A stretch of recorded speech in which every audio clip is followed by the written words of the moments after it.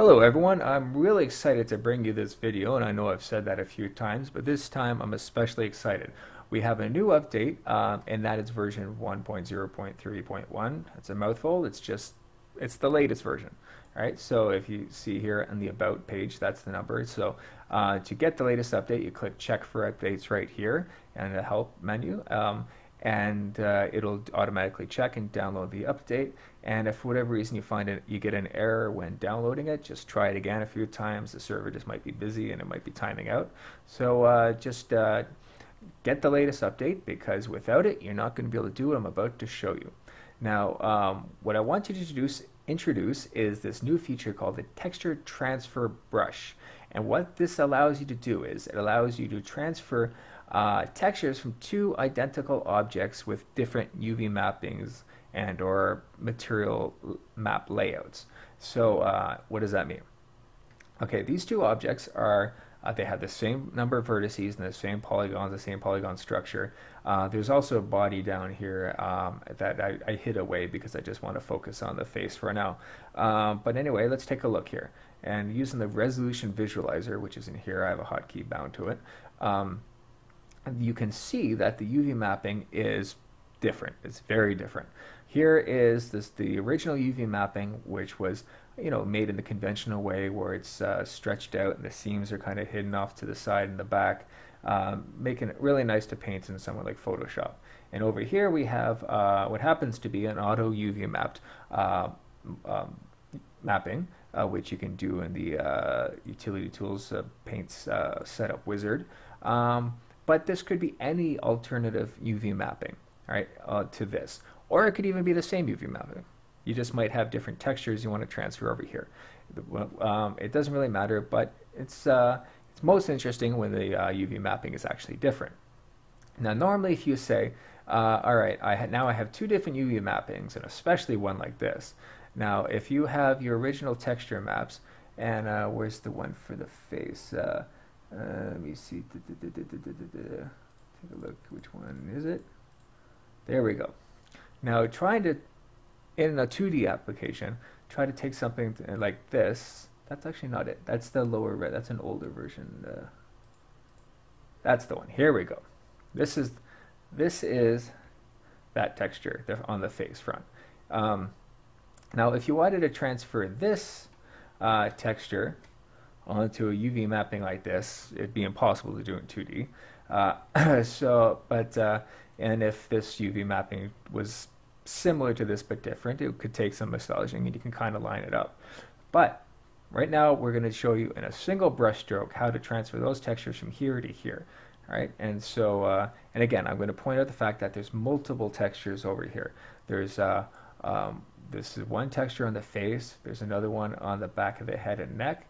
There's a different one in the eyeballs. There's at least three textures going on that you can see right here. And likewise on this model here, there's three textures uh, which are different than over here. Like they're not, it's not the exact same uh, layout. And so uh, we have a texture, I believe it's uh, A, B, and C or something like that. I, can't remember the naming convention. Um, we, but in any case, here we go. We have color map uh, A, B, and C. A is the green, okay? So, one brushstroke, we're going to transfer these textures over to there. So let's, again, let's find this texture transfer brush. I'm going to set the hidden surface removal to none so that uh, so when I paint it just goes straight through the model from one side to the other and uh, fills all that in. And this brush is intelligent enough to know it knows there's two objects in the scene and they're both sort of uh, identical versions of each other with different mapping. so when I paint on this one, it's going to grab the textures from this. And likewise, if I painted on this, it would grab the textures from that. So anyway, let me do half the face here and show you what's happening. Here we go. And wait a little moment. And voila, look at that. Now this just transferred all these complex textures from this side to that side. Now let's zoom in and take a look at the resolution to see how that how it fares. Look at all this subtle detail which has been preserved. Like it's uh, essentially it's it's only limited by the resolution of the map itself. And since this map is 4,000 by 4,000, these pixels are really small, right? And the auto UV mapping is really flat, so there's no distortion. Um, so that transfer was pretty much as good as it gets. And uh, and let's take a look um, again around. You have a, a map barriers here between uh, map A and map B. I think over here is uh, it's hard to tell exactly where. Okay, I think this is map B and this is map A. All right, and if we look, let's zoom in. All right, and let's take a look here. And you can see you can't even notice unless you zoom in really close. And you might be able to find the seam in there somewhere, but uh, it's it's it's pretty much as good as a transfer as you can get for a single brushstroke. I'm really excited about this, if you, in case you haven't figured that out. And so uh, let me also show you something else here. Now I showed you transferring from this uh, from this model to this model. Now I'm going to undo that. And now without doing anything, okay, I'm just going to take the same brush. I'm just going to paint on this one. That's all I'm going to do. Let's take a look here and see what happens. Look at that. It transferred these colors over to here. Now see this bit, it didn't transfer because that's a different layer because I have two layers going on here. I see there's a background layer and so on and so forth. But uh, since this is my current layer, I painted that green and the, and, and the red and the blue from this layer over to this layer. So let's just get away from the face and show that again. Here we go. Look at that. So it does. It just knows that these two models are identical versions of each other. And if you paint on this one, it grabs a texture from here. If you paint on this one, it grabs a texture from there. It doesn't get much easier than that.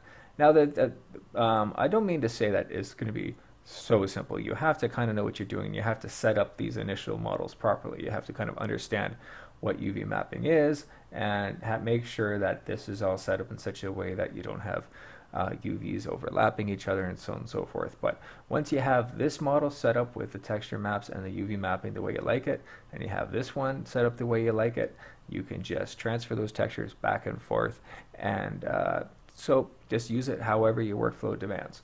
Right. So you uh, again, so as uh, one case might be, you might decide that uh, you know what I I'm not exactly sure what my final UV uh, mapping is. I have to do something where I have to go and lay out the UV maps because I want to be able to edit in Photoshop later or something like that. I don't want to have these seams for whatever reason. It's just the renderer I'm going to do it. Uh, um, render this in just prefers this. So, but I want to start painting the textures right now, and I haven't decided how this UV mapping is going to be. Maybe I want to try different UV mappings and just see how well it goes. So anyway, you can do an auto UV mapping and paint on this, right? and you can paint on this where all these little pixels are nice and flat and square and uh, and uh, uniform across the whole model. So even look inside the ear here, even all these little nooks and crannies, you can just paint and those textures will just look fine, right? And then once you have this, right, you paint it just the way you like it. And in your um, UV mapping solution, whatever that might be, you might have finally decided, okay, I found a really good UV mapping. It suits all my needs. Now I want to transfer the texture from here to here. You can then do it in one stroke. And what happens is you might do it one stroke and you might say, oh, I did something really funny up on the top of the head here and the UV mapping is all stretched. So it's not like, so then all you have to do is go back to your UV mapping solution, tweak that UV map, bring it back in here, do it again and say, oh wow, now it's working well. Like, and so you're not having to repaint your textures because your textures were painted on this model and then you transfer them over there. Anyway, that's just one scenario. There's an infinite number of scenarios we can find these useful. Another scenario is um, that you might have identical models um, as far as even the, the UV mapping, but you have a texture over on this one and you just want the texture onto this one. You want part of the texture on this one. You just want to kind of grab this sort of face region, right? And you just want it over on this one over here. And, uh, and that's all you want. You want to keep everything else. So you might just, whoops, that's the wrong brush. I'm sorry for that. Here we go. So just pretend for a moment that this the same UV mapping, the same sort of layout. You just want the textures from here to over here. Then you can just do something like this, and you can grab that little region of the texture map. Um, so again, they can have the same UV mapping, they can have different UV mapping. They're going to have uh, multiple texture maps. You might have this whole object might have a single texture map and a single UV mapping. And you might want to take this complex sort of multi-map, multi-mapped region areas, whatever you call it, uh, from here and put it over there. the, the, the combinations are infinite and boundless. So uh, that is why I'm so excited about this feature. So I would love to hear all your feedback um, uh, on this new feature. Uh, you can send me an email. You can post in the forum. Um, I'm really looking forward to developing this further. But quite frankly, it's I, I'm liking the way it is right now, where there really isn't many options. It just works the way it's supposed to work.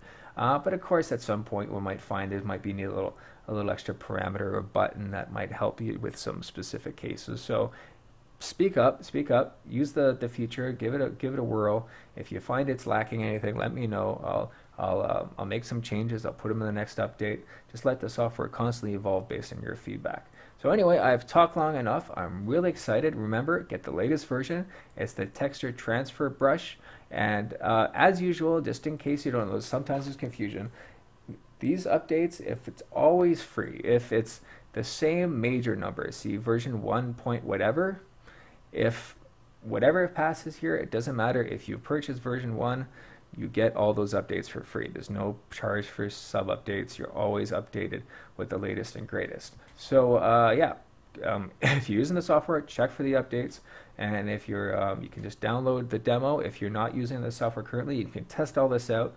The only thing is you can't export and save your project, but you can test out this little workflow and make sure it works. Uh, and uh, anyway, thank you very much for watching. Uh, please, again, your feedback is much appreciated. I hope you enjoy this uh, new feature, and I'll see you in the next video.